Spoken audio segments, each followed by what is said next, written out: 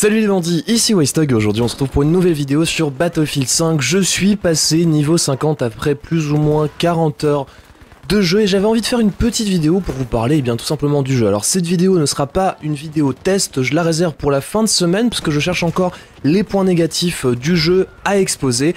Mais en tout cas je voulais parler un petit peu bah, du jeu de façon générale, du feeling et puis surtout de ce système de progression parce qu'il y a pas mal de gens qui m'ont dit mais oh, niveau 50 t'es arrivé super vite est-ce que c'est déjà fini? Est-ce que c'est la totalité du mode de progression de Battlefield 5 Alors non, déjà pour replacer les choses dans le contexte, il faut savoir que sur Battlefield 5, le pass premium n'existe plus. Tous les DLC qui vont arriver à la suite du jeu seront eh bien, tout simplement des DLC gratuits qui vous permettront d'expérimenter de nouvelles maps. Alors j'avais déjà fait des vidéos sur la roadmap de Battlefield 5, mais dans l'idée, en décembre, on aura une nouvelle map qui se passera en Belgique et qui mettra en scène des affrontements de blindés, mais aussi le début du système de Tides of War avec des nouveaux chapitres. Chaque chapitre comportera des niveaux spécifiques au chapitre avec des défis particuliers que vous devrez utiliser pour monter vos niveaux. Je pense aussi que au global, on aura peut-être un niveau global qui augmentera à chaque DLC. Par exemple, en décembre, on montera peut-être au niveau 60. Alors ce ne sont que des spéculations, j'ai pas plus d'infos là-dessus, mais en tout cas j'espère ça paraîtrait cohérent parce que si on regarde eh bien, les précédents DLC, des précédents BF, on en avait 3, 4, voire 6 maps, mais en moyenne 4 maps par DLC, on montait à chaque fois de 10 niveaux, mais on commençait par exemple sur Battlefield 1 au niveau 100. Donc on avait pas mal de marge. Et effectivement, pour monter niveau 100 sur Battlefield 1, pour ceux qui étaient là au tout début de Battlefield 1, ça prenait énormément de temps.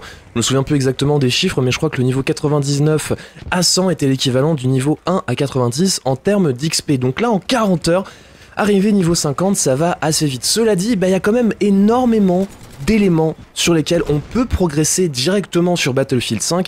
Alors, par exemple, on a tous les assignments, les quêtes qu'on doit faire, qu'on peut faire soit au quotidien pour récupérer des Companions qui nous permettent de faire progresser nos armes, d'acheter des skins, mais aussi certains assignments spéciaux qui vous permettent par exemple de récupérer directement des skins pour vos armes.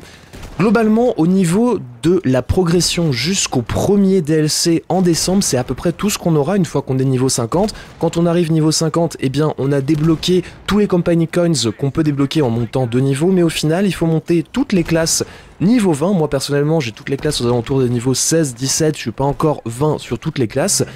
Et du coup, il reste quand même pas mal de choses à faire. Alors une fois qu'on a toutes les classes niveau 20, qu'on est niveau 50, qu'est-ce qui nous reste à faire? Eh bien tout simplement profiter du jeu. On a aussi une mécanique assez sympathique, c'est que quand on aime une arme par exemple, eh bien on a des assignments spéciaux pour débloquer le skin gold, des assignments qui peuvent être très pénibles parfois et très difficiles, comme par exemple lorsqu'on joue éclaireur et qu'on veut débloquer un skin spécial pour son Gever 95, faire 20 headshots allongés en une seule partie. Autant vous dire que c'est pas si simple que ça.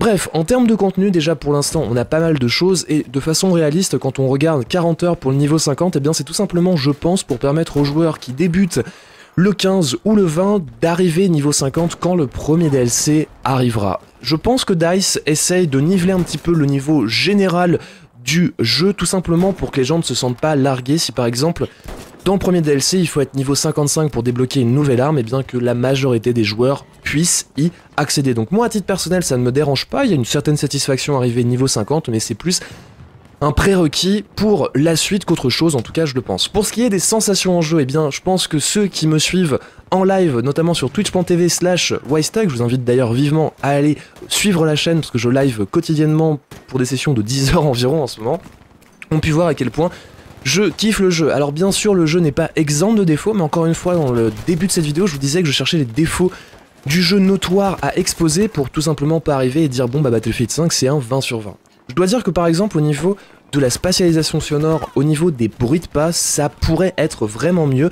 Il y a quelques détails qui pourraient être aussi un petit peu améliorer, notamment par exemple le fait de pouvoir améliorer ses armes entre les différentes games. Mais quand je dis ça, eh bien je regarde un tweet d'un développeur de chez DICE qui nous enseigne que eh bien dans la prochaine mise à jour, la mise à jour certainement Day One du jeu, on aura une mage qui nous permettra de modifier nos armes directement dans le jeu entre les games, ce qui nous permettrait eh bien de gagner beaucoup de temps. Il y a eu quelques petits bugs assez pénibles par exemple en breakthrough où les bombes étaient buggées dans le sol, mais globalement, l'expérience de jeu est vraiment géniale et je dois dire que je me suis vraiment amusé. Alors je voulais faire un petit topo sur les différentes armes du jeu. En ce moment, j'essaie de débloquer toutes les armes niveau 4 pour avoir toutes les modifications disponibles sur celle-ci. Je vous rappelle que dans Battlefield 5, vous avez un système qui vous permet bien d'améliorer vos armes avec des arbres de compétences. Il faut être niveau 4 pour avoir tous les niveaux maximum. Une fois que vous avez débloqué, eh bien votre arme est bien plus puissante. Donc j'ai eu l'opportunité de tester quasiment toutes les armes du jeu, un peu moins celles qui sont niveau 20 parce que je les ai testées lors du test que j'avais fait en Stockholm, mais pas dans le détail.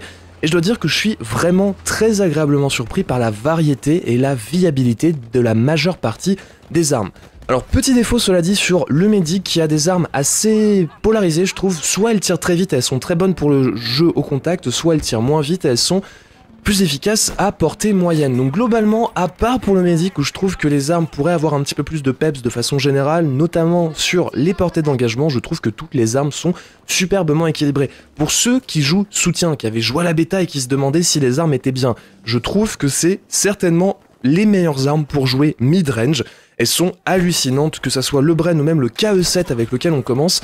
Ce sont des lasers avec des TTK, donc des time to kill, la vitesse à laquelle vous éliminez vos adversaires, très très sérieuse et très significative. Donc voilà, j'ai déjà plus de 100 heures de jeu sur les alphas, les bêtas, plus de 40, 50 je dirais sur la release et je m'amuse vraiment toujours autant. Alors moi ce que j'aimerais voir bien sûr dans le prochain DLC c'est du contenu additionnel. Pour ceux qui n'ont pas suivi, qui ont peut-être fait le solo, par exemple dans la campagne solo où on joue les tirailleurs sénégalais, eh bien on peut jouer avec le Shosha que l'arme soit déjà dans le jeu à la base, je pense, nous renseigne sur la future possibilité que celle-ci soit ajoutée au pool d'armes disponibles sur Battlefield 5. Et typiquement, pour faire une petite aparté, sur Battlefield 1, quand Shosha est sorti, eh bien c'était vraiment une arme complètement différente de ce qu'on connaissait des LMG qu'on avait sur la classe soutien.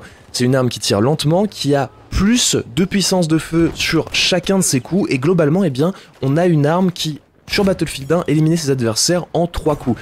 Et déjà, on voit que la majorité des armes sur Battlefield 5 ont quand même un gameplay assez défini, assez spécial. Quand on prend par exemple la catégorie MMG, donc les Medium Machine Guns, ce sont des armes très lourdes qu'on ne peut utiliser en visée uniquement quand on déploie leur bipied. Et je dois dire eh bien, que j'ai vraiment pas franchement apprécié cette expérience parce que c'est pas du tout mon style de jeu, mais on peut souligner le fait que celle-ci existe et je suis persuadé qu'il y a des joueurs qui vont apprécier le fait de jouer avec ces armes. Alors, Rassurez-vous, ce n'est pas le gameplay principal de la classe soutien, vous pouvez très bien jouer soutien en étant agressif, que ce soit avec les pompes ou les LMG.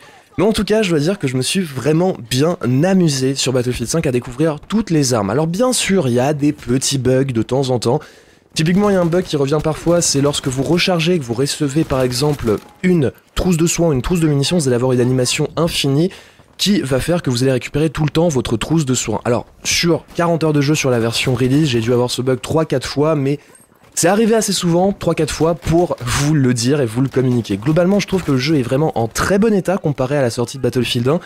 Typiquement, il y avait un bug sur Battlefield 1 pour ceux qui avaient fait la release, très pénible et qui a duré longtemps sur le jeu, c'était le bug de la polio, entre guillemets. C'est que lorsque vous vous faisiez éliminer et que vous étiez relevé, eh bien, vous aviez une animation super bizarre, votre arme partait dans tous les sens.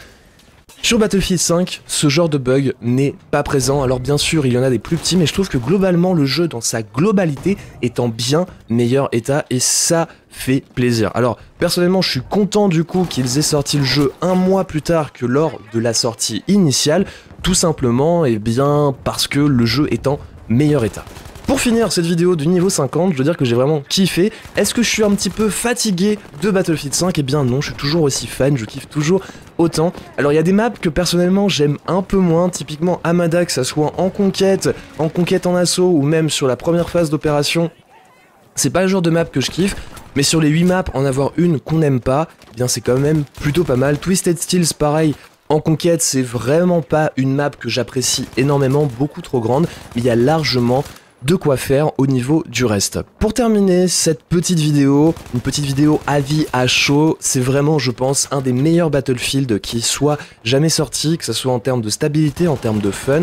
Alors en termes de contenu, et c'est d'ailleurs pour ça que je retirais certainement un point dans ma note finale, eh bien c'est juste suffisant, on s'amuse assez, on a quand même un bon pool de maps et quand on joue aux différents modes de jeu, eh bien les maps changent pas mal. Twisted Steel par exemple n'a rien à voir quand on la joue en mode opération, que ce soit le breakthrough ou le airborne, ou en mode conquête, mais globalement j'aurais aimé avoir un petit peu plus de contenu, pas au niveau des armes, pas au niveau des skins, mais vraiment en termes de map et de mode de jeu, parce que mine de rien, moi J'ai tendance à préférer sur Battlefield 5 le mode grande opération. Pour une simple et bonne raison, et eh bien c'est tout simplement un mode où on va avoir énormément de concentration de fight. En tout cas, on va continuer bien sûr de couvrir Battlefield 5 en fond, en large et en travers avec l'arrivée prochaine des hauts fronts, des Wise Labs, des tutos, ne vous inquiétez pas. Je vous invite vivement à me suivre sur twitch.tv slash wisetug une plateforme de live où je fais en ce moment des lives 7 jours sur 7 à plus de 8 heures de jeu par jour. Je rôde vraiment le jeu pour être au niveau et vous partager les informations les plus importantes. Rendez-vous là-bas les bandits. En tout cas, merci encore une fois de m'avoir regardé. Vous inquiétez pas, le contenu additionnel arrive en décembre et profitez du jeu, c'est vraiment un excellent Battlefield. Prenez soin de vous les bandits.